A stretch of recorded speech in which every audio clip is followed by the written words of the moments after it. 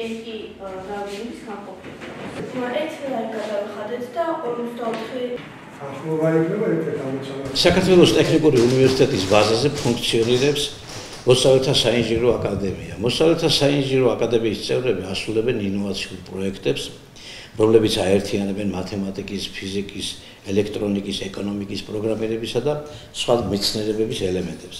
პროექტის რეალიზაცია ხორციელდება ძირითადად Arduino-ს საშუალებით.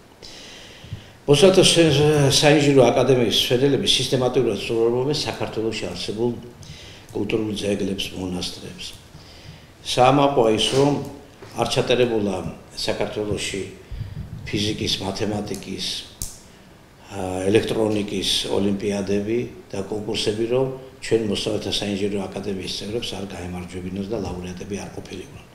15 ივნისს შეჯამდა მიმდინარე წლის შედეგები.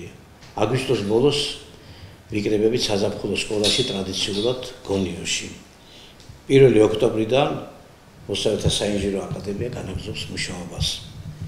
ველით ახალ შევსებას.